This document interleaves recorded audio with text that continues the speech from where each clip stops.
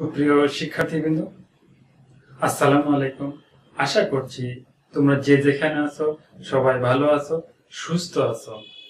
আজকে আমি বিএড অনার্সের তৃতীয় সেমিস্টারের আইসিটি এডুকেশন পেপার ওয়ানের একটা ক্লাস নিয়ে তোমাদের সামনে উপস্থিত হয়েছি।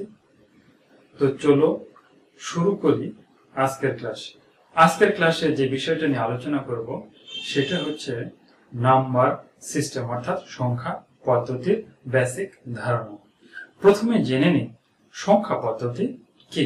সংখ্যা পদ্ধতি হলো কোন সংখ্যাকে উপস্থাপন করার জন্য নির্দিষ্ট লিখিত রূপ বা পদ্ধতি যাতে কিছু সংখ্যা নির্দিষ্ট সংখ্যা প্রতীক ব্যবহার করা হয় এবং এই সকল প্রতীক প্রতীকসমূহ হতে সুনির্দিষ্ট নিয়মে সজ্জিত একগুচ্ছ প্রতীক যা একটি নির্দিষ্ট সংখ্যা মান প্রকাশ করে।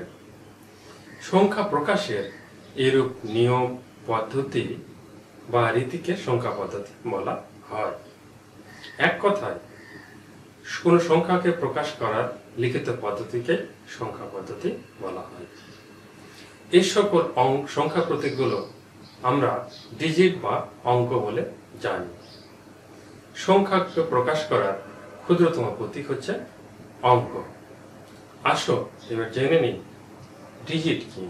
ডিজিট কোন সংখ্যাকে প্রকাশ করার জন্য যে সাংকেতিক চিহ্ন বা প্রতীক ব্যবহার করা হয়, তাকে ডিজিট বা অঙ্ক বলে। যেমন, বাইনারি সংখ্যা প্রকাশের জন্য শূন্য ও এক এই দুটি ডিজিট বা অঙ্ক ব্যবহার করা হয়। দশমিক সংখ্যা পদ্ধতিতে শূন্য থেকে নয় পর্যন্ত মোট দশটি অঙ্ক ব্যবহার করা হয়। এবার জেনে নিই সংখ্যা পদ্ধতির বেস বা ভিত্তি।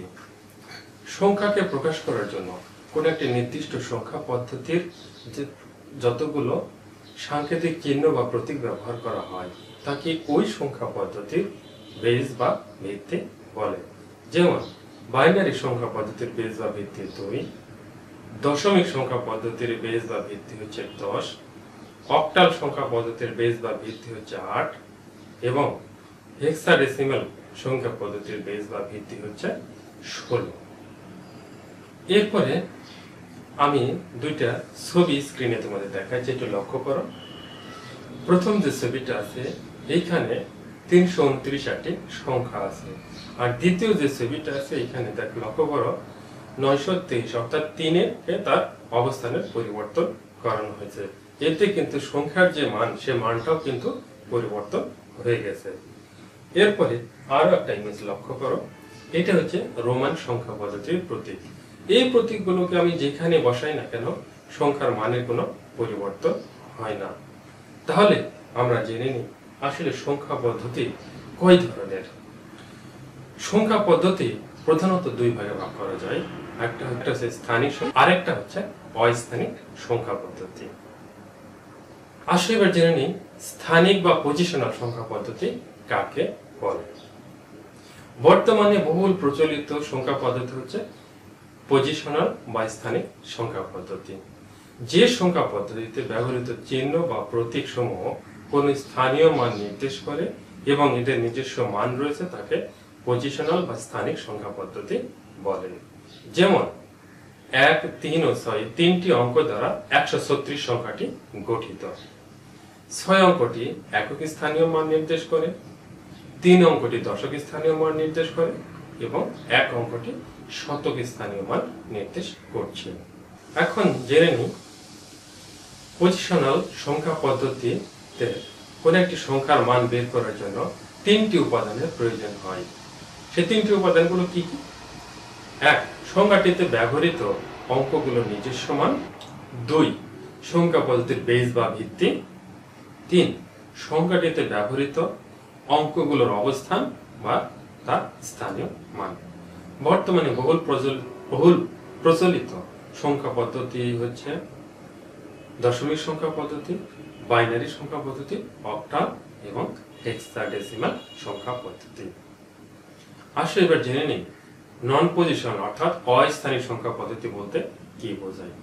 নন পজিশনাল সংখ্যা পদ্ধতি হচ্ছে প্রাচীনতম সংখ্যা পদ্ধতি। বর্তমানে এই পদ্ধতির প্রচলিত প্রয়োগ নিয়ে বললেই চলে। সংখ্যা পদ্ধতিতে চিহ্ন বা অঙ্ক সমূহ কোনো স্থানীয় মান নির্দেশ করে না। তাকে নন পজিশনাল সংখ্যা পদ্ধতি বলে। এই সংখ্যা পদ্ধতিতে ব্যবহৃত অঙ্কগুলো কোন অবস্থানে রয়েছে তার কোনো প্রভাব নেই। সংখ্যায় ব্যবহৃত অঙ্ক যেখানেই থাকুক না কেন, এদের নিজস্ব মান দ্বারাই সংখ্যাটির মান নির্ধারিত হয়। যেমন, প্রাচীনতম হায়ারোগ্লিফিক সংখ্যা পদ্ধতি। এছাড়া আজ আরও রয়েছে ট্যালি সংখ্যা পদ্ধতি, ট্যালি আমরা উপাত্তের যে কাজগুলো করি, তারপরে রোমান সংখ্যা পদ্ধতি। এই রোমান সংখ্যা পদ্ধতি রোমানের প্রতীকগুলো যেখানেই বসাই না কেন, তার মানে কোনো প্রয়োজন, পরিবর্তন হয় না। এরপর জেনে নিই ভিত্তি অনুযায়ী সংখ্যা পদ্ধতি কয় প্রকার। ভিত্তি অনুযায়ী সংখ্যা পদ্ধতি হচ্ছে চার প্রকার। একটা হচ্ছে দশমিক সংখ্যা পদ্ধতি, বাইনারি সংখ্যা পদ্ধতি অক্টাল সংখ্যা পদ্ধতি এবং হেক্সাডেসিমাল সংখ্যা পদ্ধতি। ব্যবহার। সাধারণ হিসাব নিকাশের জন্য ডেসিমাল সংখ্যা পদ্ধতি ব্যবহৃত হয়। বাইনারি অক্টাল এবং হেক্সাডেসিমাল সংখ্যা পদ্ধতি মাইক্রোপ্রসেসর লজিক সার্কিট এবং কম্পিউটারে ব্যাপকভাবে ব্যবহৃত হয়। তো প্রিয় শিক্ষার্থীবৃন্দ, আজকে এই পর্যন্তই। দেখা হবে পরবর্তী ক্লাসে সে পর্যন্ত সবাই ভালো থাকো সুস্থ থাকো নিরাপদে থাকো আল্লাহ।